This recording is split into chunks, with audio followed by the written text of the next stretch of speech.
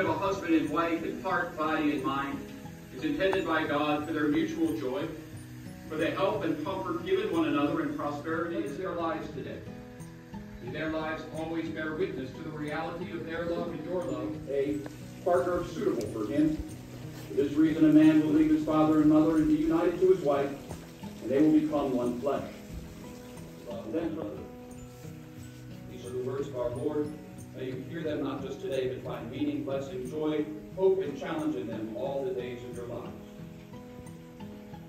From what I can tell so far, I think that you probably are a great hunter and a fine figure of a man. you and your groomsmen are looking just as, as good as you possibly can. It's hard as it is to believe, there will be a time in your marriage when she won't look so good to you, and you'll wonder what you got yourself into. and Caroline, though Chad may seem like a great hunter and fine figure of a man to today, somewhere along the way you'll ask yourself, how can I possibly put up with this guy? He doesn't have somewhere to go hunt. it's during those times that God gives us something borrowed. When our loved ones drive us the most crazy, is when we can borrow the love Jesus has for all of us. We just read. This is love, not that we love God, but that He loved us.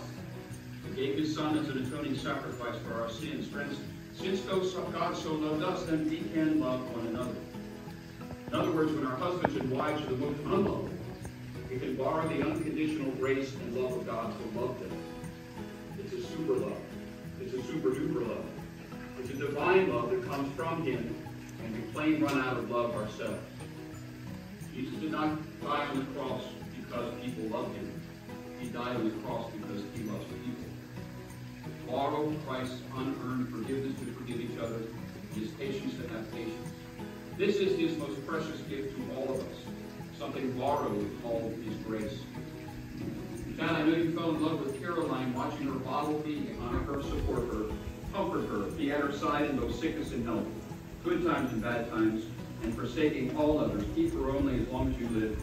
If so answer, I will. Caroline, do you take Chad to be your husband? You love him, honor him, support him, comfort him. Be at his side in both sickness and health, good times and bad times. And forsaking all others, keep him only as long as you live. If so answer, I will. Give myself to you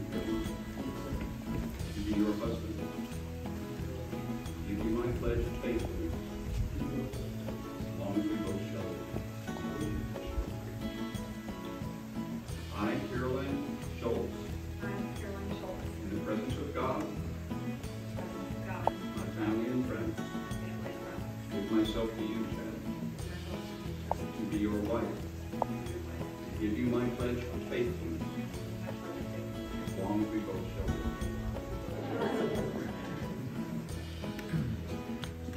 live.